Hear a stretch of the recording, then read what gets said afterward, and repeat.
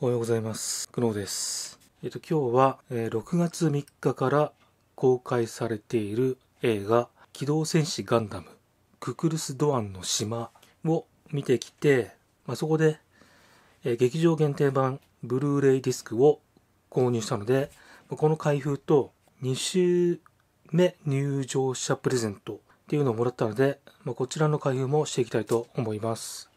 まあ本当はパンフレットも買いたかったんですけども、パンフレットはもう売り切れでした。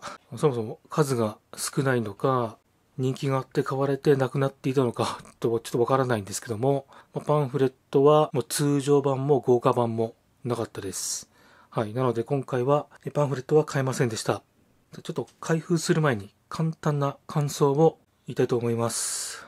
自分、ガンダム好きなんですけども、まあ、結構にわかなんで、本当にあんまり深いような話はできないんですけども、自分の見た感じの感想をちょっと言いたいなと思います。えーまあこのククルス・ドアンの島っていう話は、ファーストガンダムと言われている一番最初のガンダムのテレビ版の15話に収録されていたものを映画化したらしいんですけども、まあ、自分、この辺本当ににわかなんですけども、えー最初のガンダム、劇場版の3部作しか見たことなくて、えーその劇場版のガンダムでは、まあ、このクールスドワンの島のエピソードは削られているので、自分は本当に全く見たことがないものでした。まあ、そんな感じで、本当に完全な初見として、えークールスドワンの島っていうエピソードを、まあ、劇場版で見たんですけども、話的に本当に 心温まる感じの話だったなと思います。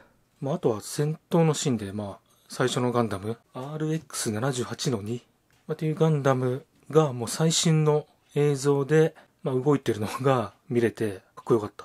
かっこよかったです。あと見て思ったのは、BGM、最初のガンダムの BGM をちょっとアレンジしたようなものが流れてたりして、自分としては懐かしいなと思ったりしました。はい。あと、効果音とかも、最初のガンダムの、なんか近づけてるような感じがして、やっぱり昔からのファンに向けた作品なんじゃないかと思いました。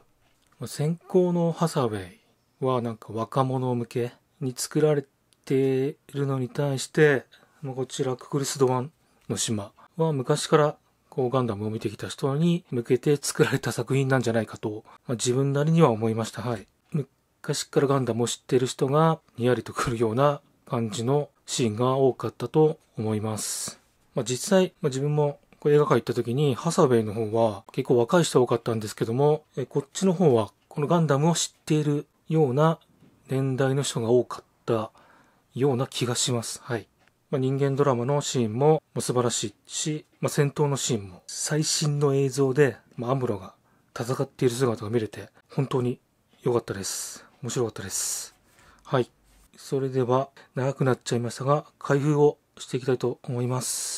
まずはこっちから行ってみますか。2周目入場者プレゼント。だから1周目はカードらしい。アーケードカードゲームのガンダムアーセナルベースで使えるカードが入ってたらしいです。1周目の入場者プレゼントは。じゃあ2周目の入場者プレゼント。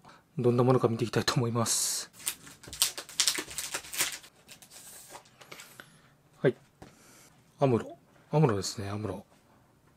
英語のイラストシートです。アムロとドアンの2種類あったっぽいんですけども、自分はアムロの方当たりました。かっこいい。ガンダム RX78 の2が載っているイラストシートです。それでは劇場限定版ブルーレイディスクを開封していきたいと思います。もうこちら、ハサウェイの時もそうだったんですけども、映画の版権が必要だと、これを見せて購入するっていう形でした。はい。では、開けてみたいと思います。結構、でかい、でかいですね。開けます。はい。パッケージですね。ドアン、ドアンが映ってます。ドアンと子供たち。で、裏に、アムロ。映ってますね。じゃあ中も確認したいと思います。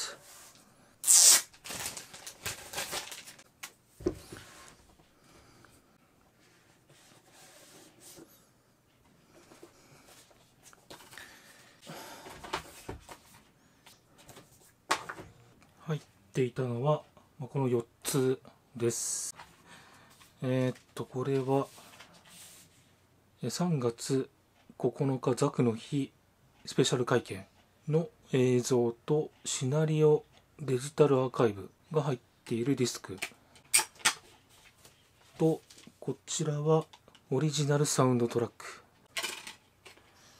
劇場で使われていた曲が収録されていると。オリジナルサウンドトラックスペシャルディスクとオリジナルサウンドトラックです。はい。でこれが、えーククルス・ドアンの島原画集。原画集です。ちょっとあんまり見せちゃいけないっぽい。はいこんな感じのものが原画集らしいです。でこれが絵コンテ集。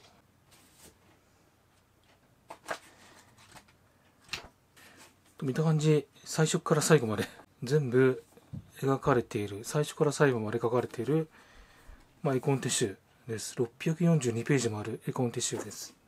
はい。でこれ最後。これが本編のブルーレイディスクです。